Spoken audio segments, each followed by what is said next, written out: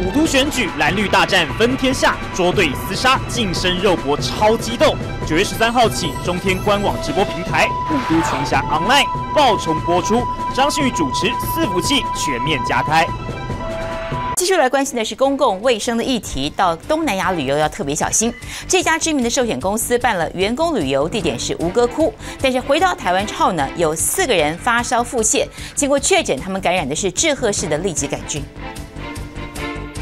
吴哥窟的美景，很多人都想到此一游。国内一家知名的寿险公司九月初到吴哥窟去举行员工旅游，回台的时候，没想到七个人出现了发烧跟腹泻的症状，四个人当场验出感染痢疾。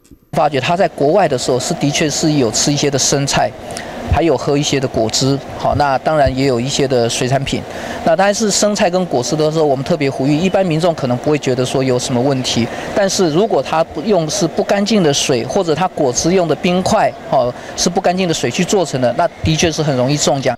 进一步调查之后，同团的团员另外还有五十一个人在旅途中也出现了发烧、腹泻的症状，经过治疗后目前已无大碍。疾管局提醒国人，经常到东南亚和中国大陆旅游，一定要特别注意当地的用水和食物卫生，否则立即有可能会透过粪便传染。